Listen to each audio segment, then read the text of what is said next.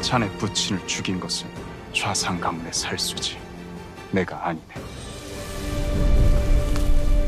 그리고 궁녀는 죽지 않았어.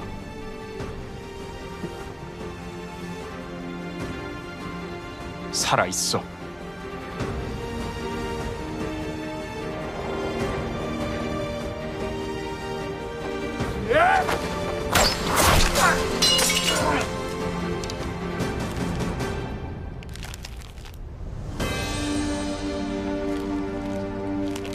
좌상은 북벌을 막으려 선왕을 독살했네.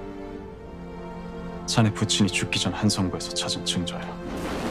좌상의 명으로 어이가 도성 내의 모든 단사초를 수거해 태웠다는 내용이네.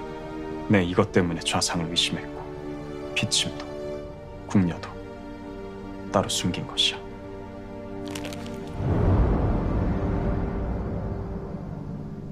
너가 누구인지 전하께 고하거라.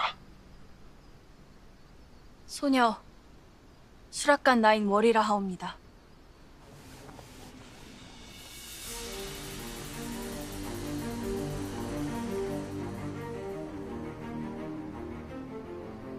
선왕 전하의 수라에 탄사초를 넣어라 들은 것이 맞느냐?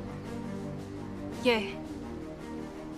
청나라에서 온 귀한 향신료라며 전하의 야참인 홍삼정과 위에도 뿌리게 하고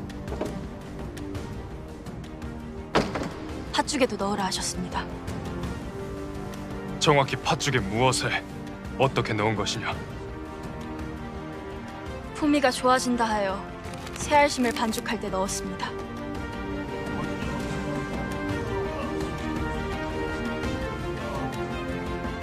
그것을 지시한 것이 누구였느냐?